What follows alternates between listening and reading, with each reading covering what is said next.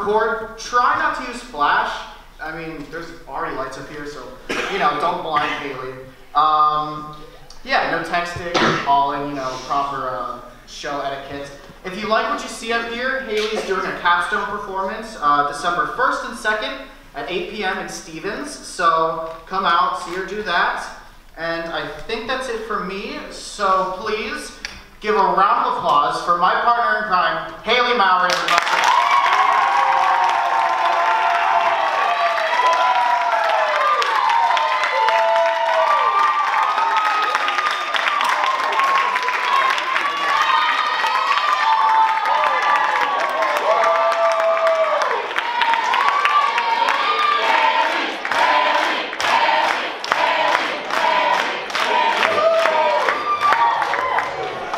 This chick is a sick individual.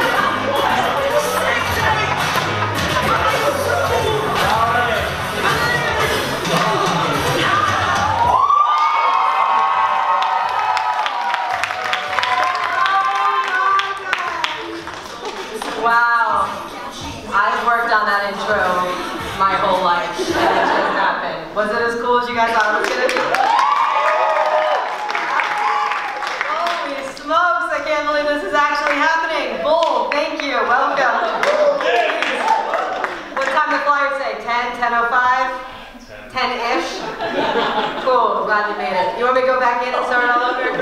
You're good? All right. Thank you guys so much for coming out. How you guys doing tonight? How we doing, Las Vegas?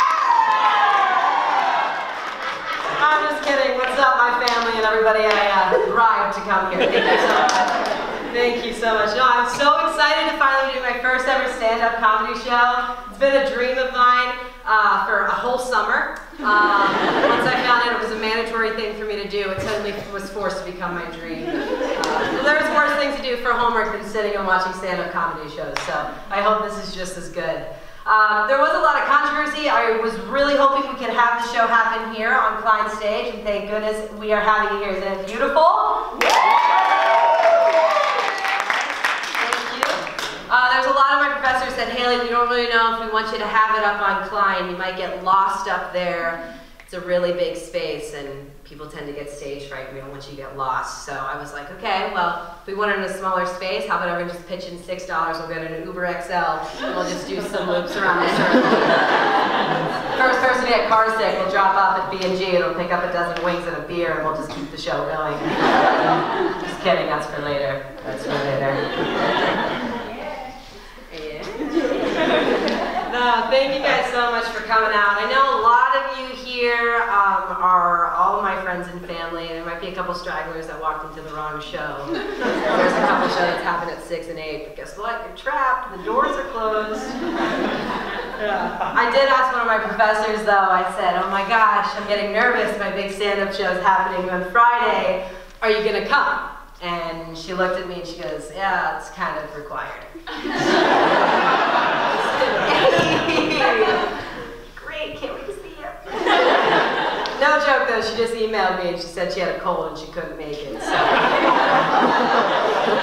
I'm getting a grade for this, but if Chris is out there where he's sitting, sure you take that shit down too.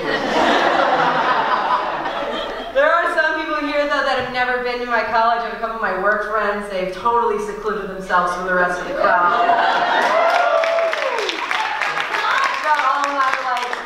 That is sitting dead front row. I got like my friends, frat brothers sitting over there to the left. Then I got the ma- merry mountain men over here that are like, we're gonna come, but we're gonna sit over there. So don't call us out. Don't make it weird. Um, just like that, there are a couple people here that have never been to Gettysburg, so welcome to my beautiful campus with its rabid squirrels and our endless construction. I don't know what the uh, what the class of 2018 did to JMR to be like, screw you, let's plow this shit over. yeah, everything they know and love, let's just kick that shit away. Class of 2020's coming in, or you guys are. Who knows? Y'all are like born in 2004 now. Whatever. Whatever, man. Came back, you know, like you wait your whole life to be the big top dog on campus, be the senior here, and you're like, yeah, freshman, what's up? Don't know what shit is. Y'all dropping cups and servo. They come up with my class and they take our damn servo trays away and they plow over the only bullet hole that I know. Say, now you gotta walk 90 miles away to get your damn buff chick sandwich. Haley, how about that? It's ridiculous, right? Wendy's like, yeah, yeah. I swear, they're doing this shit to put me on a diet, man. They say, okay, Haley's eating a lot at lunchtime. If we take the trays away, she can't stack them all up at once. Well, they don't know that I can juggle, so they don't.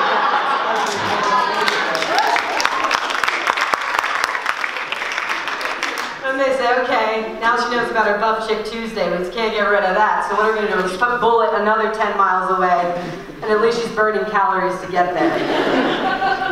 now, our new Bullet's pretty terrible. if you go here, you know exactly what I mean. Yeah, don't go if you have a 110 and you have lunch at 12.30. You ain't gonna fucking make it. I make my schedule around the new bullet now. I say, I can't have class at 110, I gotta eat. Here's why it's really bad. Not only is it that far away, but the lines, plural, are terrible. Normally you have one line, just one line to go get your food. Here, at the new bullet, you have about six lines to go through. You walk through those lovely, glossy, brand new double doors, and you're like, wow, first day I walk from class, and I'm like, new bullet, up! All of Gettysburg standing there like,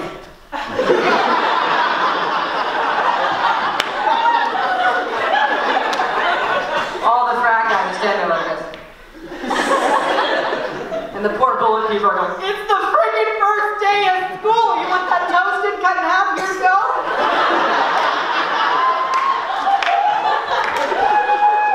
Yeah. So once you make it through the original line, then you actually get in your food line. And once you get your food, then you gotta hustle yourself over to the soda machine line. And those assholes put the soda machine line in front of the register. So now you gotta quickly fill it up while you're like pressing the cup to the thing and it's taking its damn time to get your. And you look at the guy behind you like,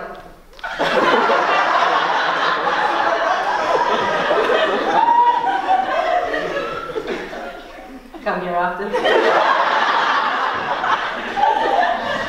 Yep. So I got your soup and salad in this hand. You're filling up that soda in that hand. You gotta quickly kind of reach and scrabble to get the lid. Put the lid on it. Squeeze it to pick it up. The lid pops off. You're like, it's okay. That's how I want it to be. My friend Lindsay doesn't even get a lid on her soda. She's one of those whack jobs. No ice, no lid. Just kind of sticks the straw in it, lets it swirl around. Then if you're like me, you have to get the straw. And I thought I really thought this through too. I'm like, okay, if I'm not putting everything in my hands, where can I put my straw? I know. I'll be the 1950s artist with the fedora and the feather, and I'll just pop it back through there.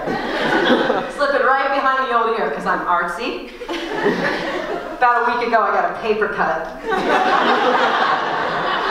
really awkward, and I'm like, that a meal? And it's dripping down my face. Like, oh yeah, it's a. Don't worry about that. There's so much anxiety built up with that. You know, when you're at any any place, I'm gonna reference McDonald's because it's familiar to me. Those are my two best friends right there. Everybody else in the back is like, McDonald's. You're looking at my figure going, how does she do it?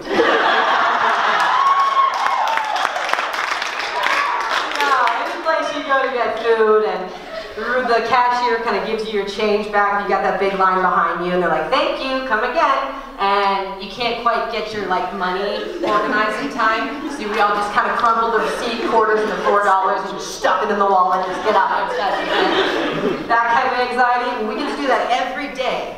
So Gettysburg has come up with this really great thing where you just do a fingerprint and it goes ding, and you just kind of like walk away. Here's the issue. So that whole soda that spills everywhere in your hand, right? Y'all remember I talked about that? Guys, stay awake. no, that soda that spills on your hand, that really messes up the whole fingerprint situation.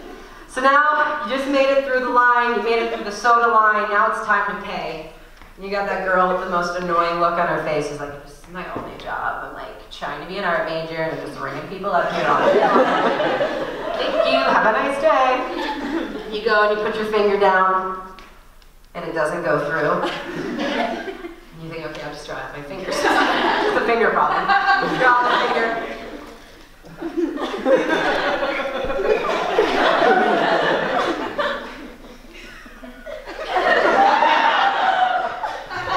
and you don't know what the hell's going on, why it won't go through. So you think maybe it's the machine's fault. It's not, but you're gonna give it a shot. You just kind of give the old shirt. Everyone's fuming behind you, starting to get the cold sweats down your back. Doesn't go through again. And you look at the cash register lady with that face that every animal has on the ASPCA commercial.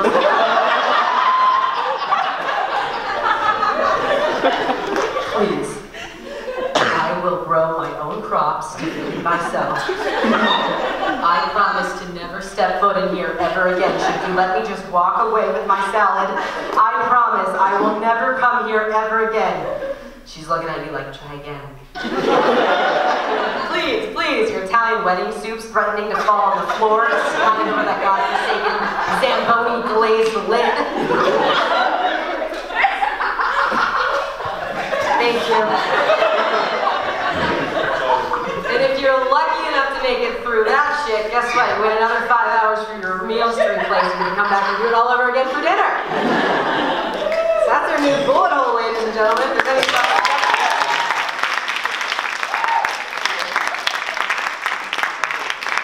Oh my god, I knew this whole thing was gonna be about food.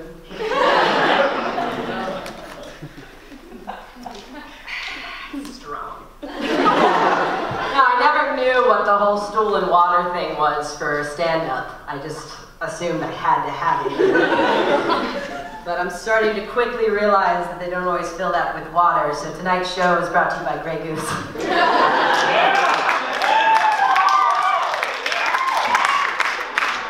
Chris, I'm just kidding. It's Ketel One.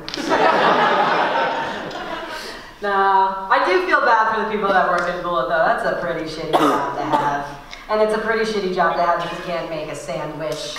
I mean, I'm really good at making sandwiches, but that just might be because I'm a woman and that's a stereotypical thing. but I'm just telling you. I do, you know what, I feel bad for them, but at the same time, they kind of get cocky with themselves. You know, when you go to a Subway and you get your, your sub and you feel really empowered because you're picking everything that goes on it, and then you get to that, like, vegetable line and they're like, lettuce, tomato, onion, and you're like, bitch, I will tell you what I want. And that's exactly what you want is lettuce, tomato, onion. You're not gonna let them win that game. You wear the pants in this relationship. They say lettuce, tomato, onion, you're like, um, I'm gonna have onion. Mm, yeah, you're right. That tomato does look pretty good there, John. Why don't you put that on there as well? You know what? Now that you mention it, lettuce sounds great. Those people, you know, you got to take control of. The people that I do envy a lot are waitresses that memorize every side and special that they have for that evening. You ever have that? And this is something my sister Lexi does all the time. She doesn't appreciate the effort that goes into that. You know you want french fries as your side, but she goes, okay, one steak medium, and let me just tell you what our sides are for this evening. We have french fries, vegetables, soup, applesauce, a nice rice pilaf if you're interested. and we all sit there, y'all think you're not actors, but we all sit there like this. and french fries is the first thing she said, but now you're nervous and you like, don't want to be the bitch that's like, oh, she said french fries first, I just made her list off everything. This is what my sister does to me. When I'm looking up here, real honest, my sister goes, french fries. French fries, you want french fries? uh, you know, you want french fries, french fries. Get them. Get them, get them, split Same thing with the steak. I'm always like, ooh, I'll have an 8 ounce filet. Just kidding, it's 11 ounce. I'm always get the 11 ounce filet. She's like, how do you want that done? And I'm like, mm, like, she's like, medium, medium, medium, medium, medium. medium. it's awkward with a waitress. You don't want to like step on their toes. They took the time to memorize what they're giving you today. And the worst is when you get that, uh, you go to Olive Garden and they have that delicious grater of Parmesan cheese. The best thing, damn right, it's the best thing in the entire world. You want to just bury your face in that cheese and they go, ah, just say when. And you, the appropriate time, if you're not aware, is about a five, five to seven seconds of just them grating it. For me. What you really want is the whole thing, but it gets awkward. They're like, just say when.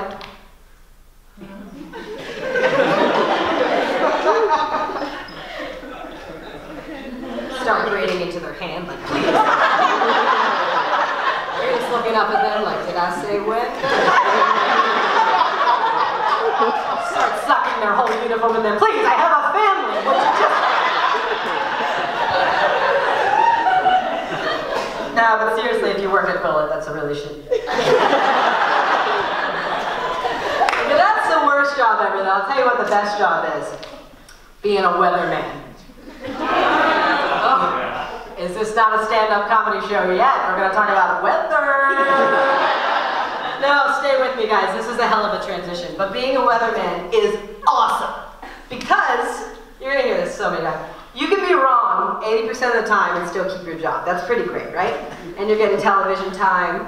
There are some downfalls, though. And I will tell you, for some reason, the news anchors like to take out all their anger on the poor weatherman. It might just, excuse you, it might just be, it might just be because they have to change personalities every three seconds with that teleprompter scrolling. You know, they never know what's going to come up. It's really stressful. You know, all the news anchors are like, and there were no survivors. But next, find out which chocolate bar helped you lose weight. Survey shows that surveys in America are disturbing. but also, a rescue dog shows off its new tricks to its family. and death and destruction comes to our country. So they fired over to the weatherman and they're like, and now we're gonna go over to Johnny with the weather. Johnny, when are you gonna stop this rain and bring us some sunshine? I'll stop the rain when you stop the carjackings, Colleen. then you have the poor weather guys that are like the interns that get thrown out in the field, you know? When it's like, do not go outside. The biggest storm in history is here. Stay indoors. Whatever you do, stay indoors. And we're gonna go to Johnny. He's out in the middle of it. Johnny, what does it look like there, Johnny? And his jacket. It's like holding on to the nearest palm tree. The worst is when they travel to like to Florida or some terrible place like that. They're standing in the middle of like a tornado, and it's their big time to shine, and the mic doesn't go through, and the anchor guys don't even give them a chance. It's like now we're gonna go over to Johnny on the big storm in Florida. Johnny, how's it going out there?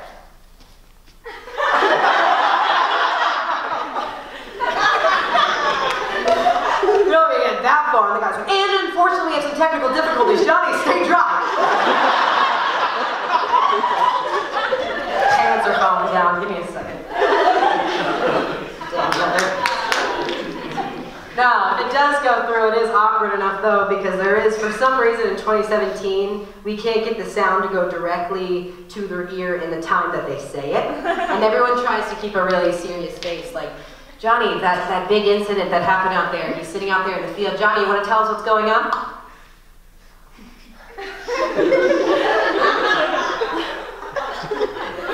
Thanks, Colleen. Yeah, I guess it is kind of shitty being a weatherman. I don't know why I wrote that shit. It's not a good job at all. Uh, I have a good job for you. It's, it's like the professional side of being a weatherman. being the guy that gets to name the hurricanes. Seriously, I'm looking into the credentials needed for this. And before we all start thinking I'm some dumb theater major, I know hurricanes get named in alphabetical order. Okay, I know that. But in my perfect world, there is a job and you're called a hurricane namologist and it is the greatest thing in the entire world. like, we got a big storm coming through and I'm like, ah, let me get my name book out. And these assholes picked the lamest, non-threatening name in the entire world. Y'all remember Gert?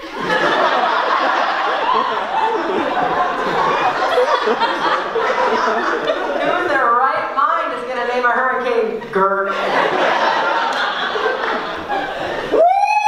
Hurricane Gert's going through. Board up your doors. Poor hurricane waited its whole life to destroy shit, and that asshole It's like a queef on a yoga ball.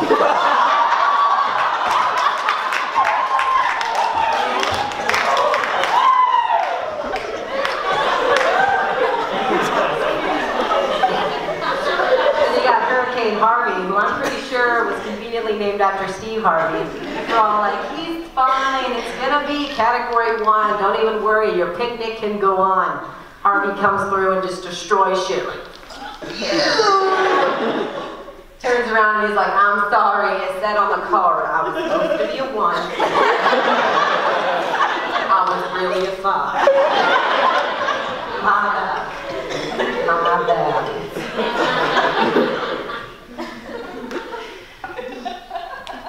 So I've been in college for four years now. Hopefully that's as long as I'll be here. That's what my parents are saying too. That's right. That's so correct. What are you? What year are we on now? Eight, nine, Uh, five. five, eight. Nah. Yeah, I really, I've had some really good times here at Gettysburg. Really happy I came here. I've had my best days, had my worst days, of everything in between. My first day of freshman year, first first week of classes. I just feel so inappropriate, like drinking as a like talking about my classes. do they not go hand in hand though? I think they do. Uh, was my first week of class, I was really stressed. I'm like trying to adjust to college, like playing a sport, all that shit. And I go up to my professor and I say, hey, listen, I'm like really having a hard time. Um, I would just love some advice. And they looked at me and they said, Haley, the first four years of college are the hardest. but um,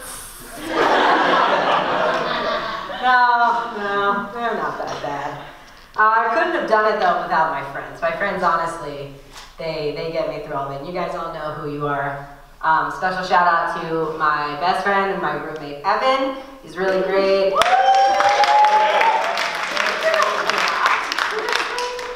Oh gosh, okay.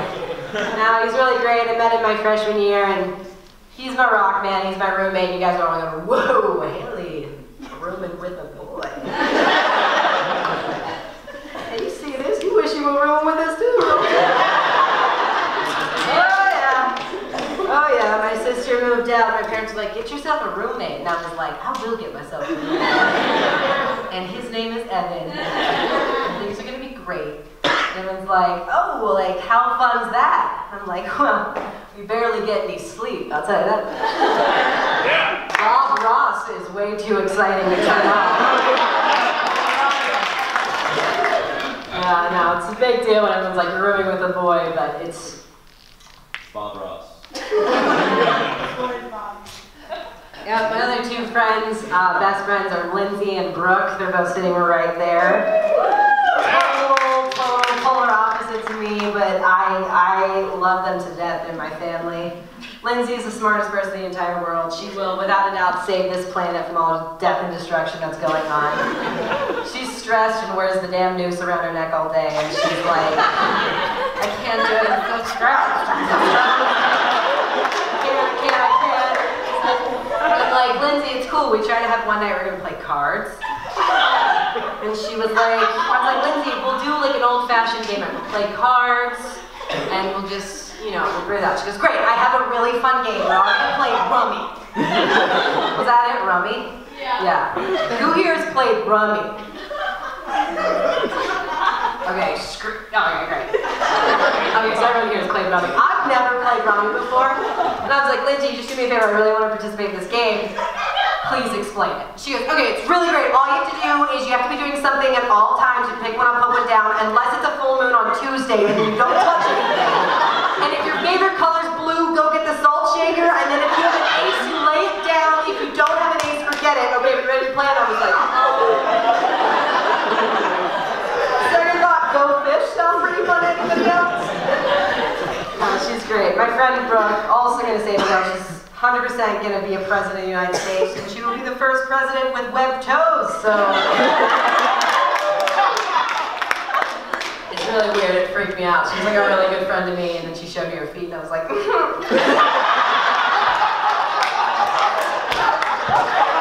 It's like this thing is like not a big deal, but it's kind of a deal.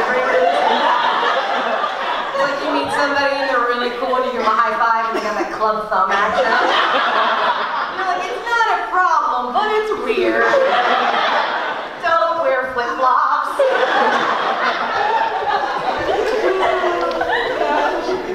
No, they're, they're great, especially for my girlfriends. You gotta have girlfriends to back you up. They they are the worst and the best people in the entire world. They are the best people if they're on your side. If you're the person talking shit about another person, they're the worst people ever. They always kind of like push whatever mood you're in forward, you know? And say like you, you're if you're in a relationship with a guy and they're like, Haley, how's it going? I've never been in a relationship with a guy here. Let's just make that clear. I'm just hypothetically thinking because I know you're all thinking about it. Okay. They're like, Haley, how's it going? It's great. Everything's going well. They're like, he's great. You're great. You're beautiful. Everything you do is special.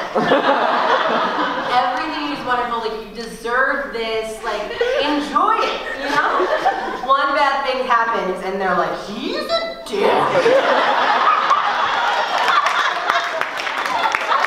Chipotle. He doesn't even deserve to breathe the same air. Everything you do is special. And you honestly need people around you to be like, you're great, okay. But if you are around people all the time that are telling you you're great, you might start to think that you're always great. And as, as awesome as it is, it's important to know that sometimes you can be an asshole. you have to be self-aware of that. Because there will be a time when someone's like, you're kind of being an asshole. And you're like, no, I'm not. Well, guess what? It's not up to you. you need to know. You need to know. So I'm a theater major. Obviously. Don't make sociology majors stand up here and do this. Or bio majors, Lindsay's shows next week. Now, there's a lot of things that inspire me to follow a career in entertaining people. I really love it. It's my favorite thing to do. Um, there's that. Um, but one of the big things was uh, I did an internship my junior and senior year of high school. I did with my friend Drew, who I don't know where did he leave? He was out here earlier. He left. He's gone. Anyway, oh, he's out there. Hey, Drew. Um, yeah, we did an internship together at a, at a professional theater. It was really fun. Um, as much as I thought I'd be acting, I did a lot of like mopping studios and like picking glass out of the driveway, stuff like that. But I did have some time to shine. There's a big, uh, big performance they do there. It's called the Murder Mystery Weekend. And it's basically a weekend of a murder mystery. Shocker. It's a weekend to die for. Ooh, that old chestnut. Yeah. No, it's really cool when they were like, uh, Haley, you're gonna be in the show. I was like, me? Great. And they're like, you're gonna play Joey the Thug, and you're gonna die. And then after that, you're gonna be a killer because no one else wants to do that. And I was like, um, great, great. Do I get paid? They're like, go get my coffee. so my first day of rehearsals, I walked down with my director, and I'm, I'm learning all my script for Joey the Thug. He's like, okay, listen, kid, all you gotta do is you're gonna stand in these doors, and when you hear your cue, you're gonna come out.